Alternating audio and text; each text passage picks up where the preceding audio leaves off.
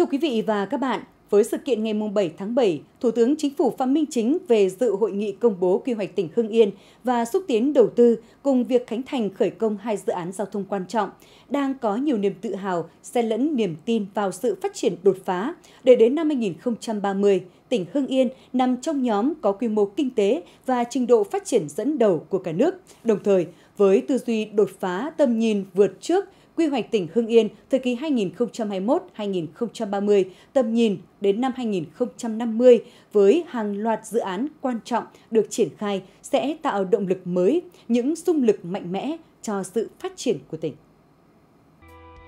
Để tạo động lực cho phát triển, tỉnh Hưng Yên luôn nhất quán quan điểm giao thông đi trước mở đường. Tuyến đường nối hai cao tốc Hà Nội Hải Phòng với cầu rẽ Ninh Bình vừa được khánh thành và đường Tân Phúc Quang Phan vừa được khởi công sẽ là hai trục xương sống trong bố trí không gian phát triển của tỉnh, kiến tạo các giá trị phát triển mới.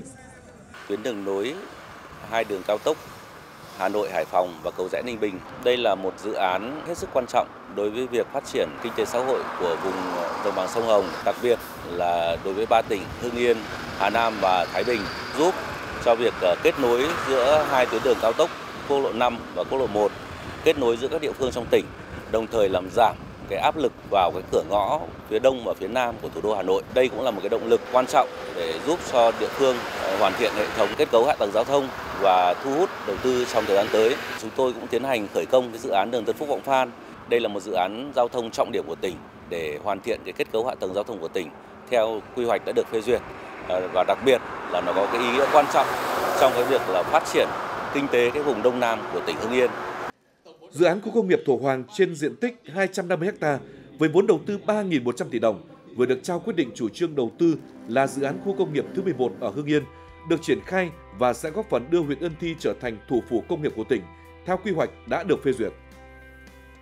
Chúng tôi cam kết sẽ dùng mọi nguồn lực để triển khai ờ, ngay lập tức dự án này và ờ, đúng các điều kiện của pháp luật quy định để mà đóng góp vào cái định hướng biến Hưng Yên thành một tỉnh công nghiệp chúng tôi định hướng rằng là đây sẽ là một khu công nghiệp xanh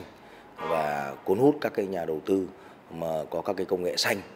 Theo quy hoạch đến năm 2030, trên địa bàn huyện Ân Thi sẽ có 14 khu công nghiệp với tổng diện tích trên 2.600 ha. Đây sẽ là cú hích lịch sử để một trong những huyện nghèo bứt phá vươn lên trở thành trung tâm công nghiệp của tỉnh. Trước hết là chúng tôi phải tuyên truyền người dân cái việc là thủ công nghiệp thì phải chấp hành tốt cái việc thu hồi đất và quản lý quy hoạch phải thật tốt để làm sao dành các quỹ đất đủ lớn để làm các khu công nghiệp. Đến năm 2030, tỉnh Hưng Yên sẽ có 30 khu công nghiệp, không chỉ tăng gấp hơn 2 lần về diện tích so với hiện tại. Một nhiệm vụ quan trọng nữa là phải chuyển đổi sang công nghiệp xanh theo đúng quan điểm mục tiêu phát triển xanh, phát triển bền vững. Trong giai đoạn tới thì cũng phải chú trọng việc lựa chọn lập quy hoạch và xác định một số những khu công nghiệp công nghiệp sinh thái thì trên cơ sở đấy thì cũng xác định làm xanh hóa khu công nghiệp chú trọng đến cái, cái vấn đề về cây xanh hay là vấn đề về cái hệ thống uh, tiêu thoát nước uh, hồ điều hòa. Khi uh, lựa chọn thu hút đầu tư thì cũng phải chú trọng liên quan đến những dự án mà thân thiện môi trường và từ những dự án mà công nghệ kỹ thuật cao.